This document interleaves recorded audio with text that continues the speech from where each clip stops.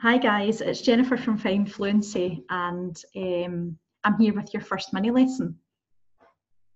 I've decided to focus on los saludos, los saludos in Espanol for your first lesson. So we're hopefully going to be able to greet people uh, um, accurately in Spanish. We're going to be able to say hello and look at different greetings for different times of the day and be able to use them properly and that's linked to our weekly challenge this week, so some of you will be familiar with the language already. I am assuming that you are all beginners. We are in a beginners group, so I'm starting at the very beginning for you. Decided not to do pronunciation this week because I feel like if we do greetings, it really gets you talking, it gets you communicating, and you come away from the, the lesson feeling like you've really achieved something um, and that you can do something in Spanish. Whereas we, we do pronunciation and you may, may feel at the end of a lesson that you know how to make sounds, but you can't really say words. So I think for our first lesson, let's really start on a positive note and let's have a look at greetings in Spanish. Los saludos. Empezamos. Okay, vale. En esta lección vamos a aprender, just try and sort this for you. Vamos a aprender, so in this lesson, we're going to learn cómo decir hello por la mañana por la tarde y por la noche. So different ways of saying hello for different times of day, la mañana in the morning, la tarde, the afternoon or the evening, and la noche at night time. Cómo pedir qué tal y cómo responder. So how to ask how somebody is, qué tal, um, how's it going, and also how to answer that question. And lo que necesitas, so what you need for this lesson, is really simply un boli, un lápiz y papel. So a pen or a pencil and maybe some paper as well. Okay, so that's all you need to, to do this successfully today. And a good attitude, obviously. So, los saludos. First one, start really basic, really simple. Hola. So repetimos, let's repeat it. Hola. Hola. So you will notice that I am not pronouncing the H, right? We do not say hola, we say hola. You may know that already, we all know that, and a lot of people actually, a lot of British people um, already write um, hola with an O-L-A without the H because it sounds like that. It does have the H, but it's, it's silent there. Most H's at the beginning of Spanish words are silent. There are a few exceptions. We don't need to know them right now, um, but let's just say they're silent if they're at the beginning of a word. And it's hola, now this is hello, and we can use that any time of the day or night. Okay, so that's your go-to, your get out of jail free card. If you're not sure which one to use, use hola, you're not going to go wrong. Okay. Then we've got buenos dias. Repeat that one then. Buenos dias. And that one is good morning. Okay, so or good day, really. Dia means day, so you could say good day. It's quite formal and old fashioned, but buenos dias, good morning, good day. And we use that up until about 2 p.m., 2 p.m. in the afternoon, which is usually lunchtime in Spain. We usually have quite a late lunch um, and use buenos dias up to this point, okay? Then we use buenas tardes. Let's repeat that one. Buenas tardes. Buenas tardes. And that's our good afternoon or good evening. Usually we see that one up until about eight o'clock at night. So it can be good afternoon or good evening. Then we have buenas noches. Buenas noches. And that is good night. Okay, buenas noches. Good night. And we use that after eight o'clock at night. All right. So later on in the evening, if we're meeting up with friends or we even want to say good night to somebody, like you're going to your bed, you're going to go to sleep, we use buenas noches. Right, saying goodbye to people then. We can use hasta luego. Hasta luego. Again, we see our little rule with our silent H. We're not saying hasta, it's hasta luego. See you later. Hasta luego. If it's somebody that you see regularly, it's likely you're going to see them the next again day, we can also say hasta mañana. Hasta mañana.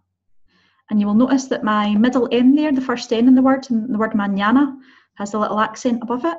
And that means that our N makes a new sound, okay? So again, for our absolute beginners, the N with a little accent above it goes new, right? Hasta mañana, hasta mañana. See you tomorrow. And again, a bit like hola, we also have adios, adios, repeating that one, adios, and that is just goodbye. So it's a bit like hola, we can kind of use that anytime uh, and get away with that one, okay? So quick recap there, we've got buenos dias, good morning, buenas tardes, good afternoon, good evening, buenas noches, good night, hasta luego, see you later, hasta mañana, see you tomorrow, adios, goodbye, and obviously our catch-all, hola.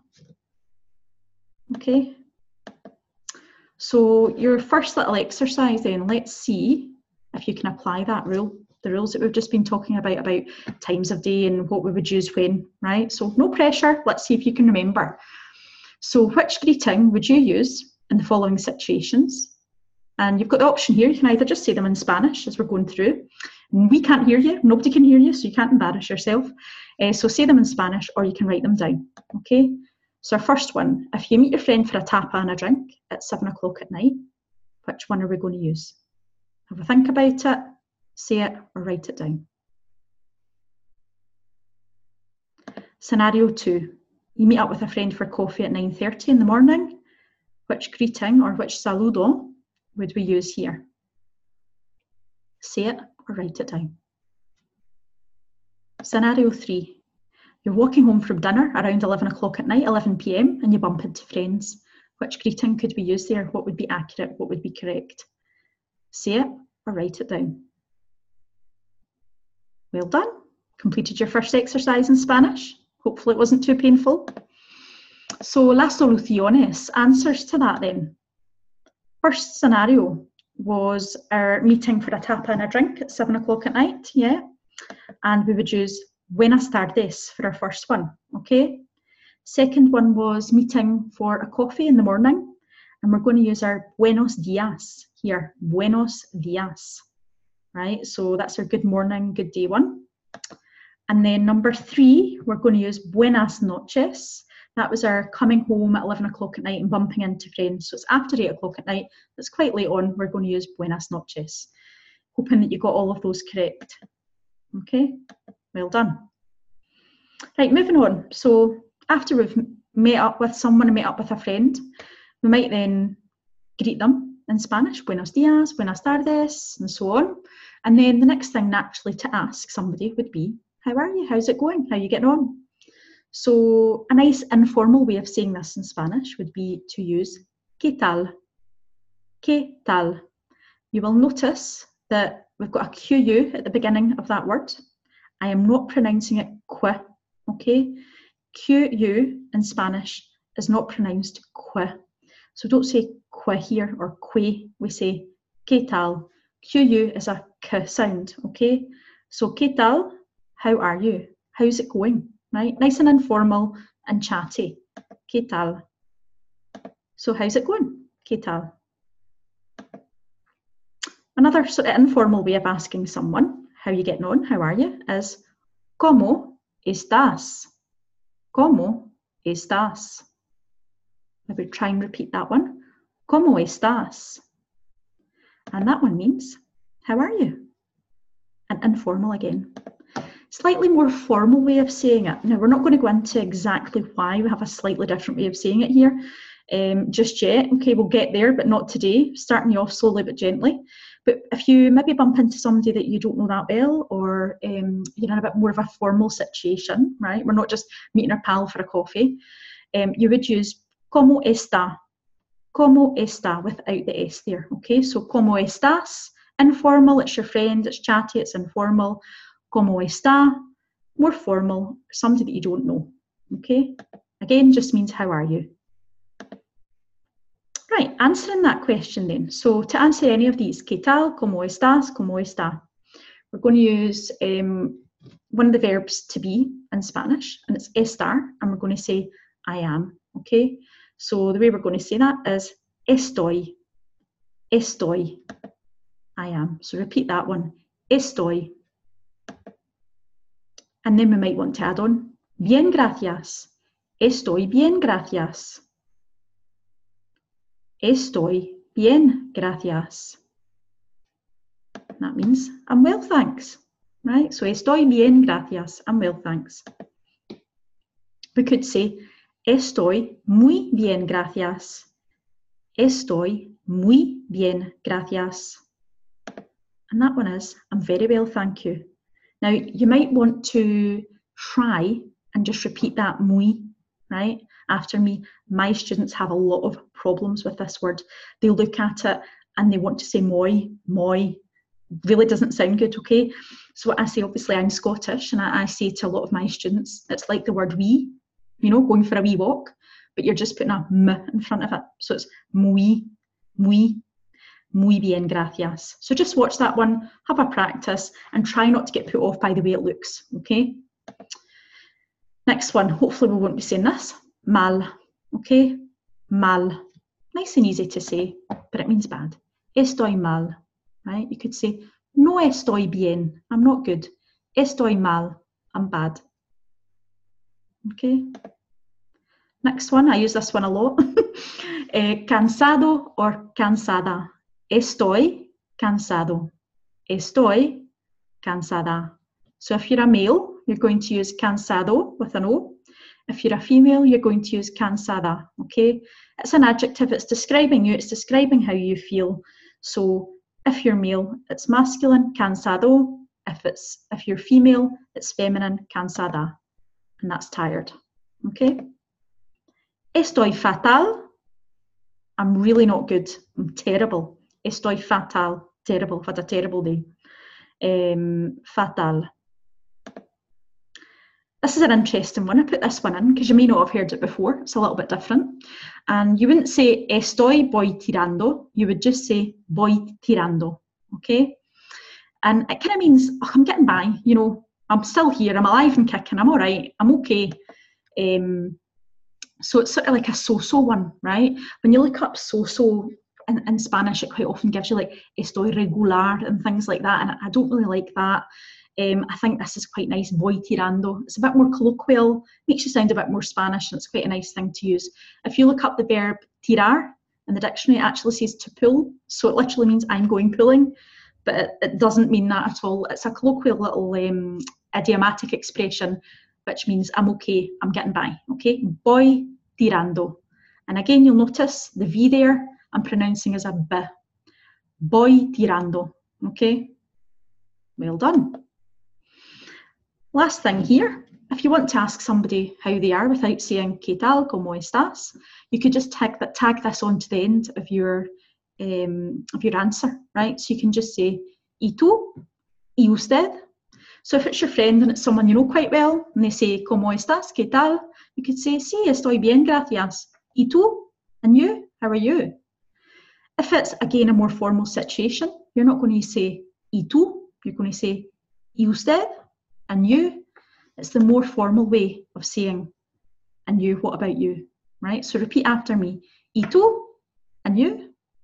Y usted, and you. Okay?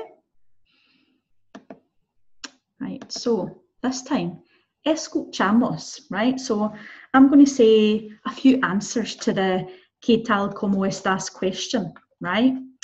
And I want you to try and write down. I'm going to say them in Spanish. I want you to try and write them down.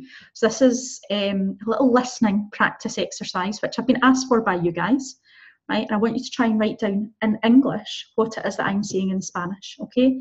So I'm going to say it in Spanish, and you're going to write it down in English. This really tests your comprehension, which is a skill you're going to have to use every day if you're in Spain or you're using your Spanish in real life.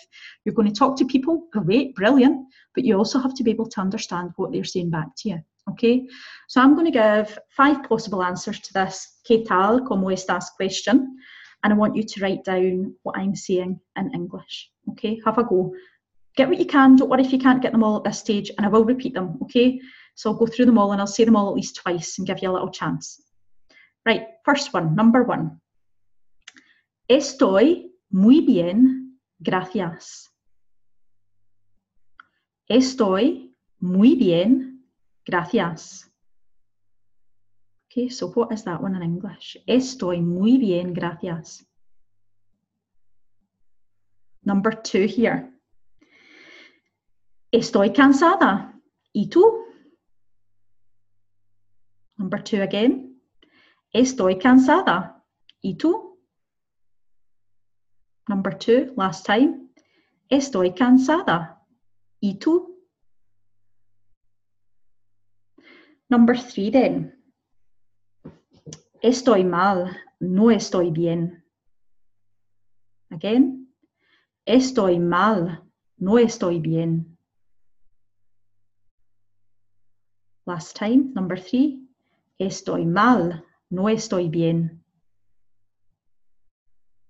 Okay, doing well. Just keep going. Number four. Sí, voy tirando. Number four again. Sí, voy tirando. Last time, number four. Sí, voy tirando.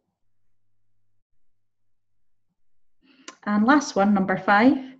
Estoy bien, gracias. Estoy bien, gracias. Number five, last time. Estoy bien, gracias. Okay, well done.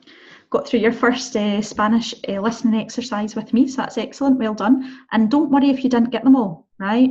It's practicing, you will get used to my voice as well, and sometimes it's good to hear different people's voices because obviously in real life, not everybody sounds like me, and so on and so forth, but it's just good practice to consolidate what we're learning here. So, soluciones, uh, answers to that then. Our first one was Estoy muy bien, gracias. I'm very well, thanks. Second one, estoy cansada y tú? I'm tired. What about you? Number three, I'm bad. I'm not good. Estoy mal, no estoy bien. Number four, sí, voy tirando. I'm okay, I'm getting by. Number five, I'm good, thanks. Estoy bien, gracias. I'm good, thanks. Okay? So, how did you get on? Give yourself a little mark, a little tally, and see how you got on. See if you can beat your mark the next time. Well done if you got full marks. Okay, I'm including the transcript for that little exercise just in case it's of use to you, okay? In case you want to go back over it and check it or anything at a later date. So I'm including that trans transcripción or the transcript in Spanish for you. Okay, I thought sometimes it's useful to have that, so uh, I'm just giving you that one. Okay. Right, so little recap.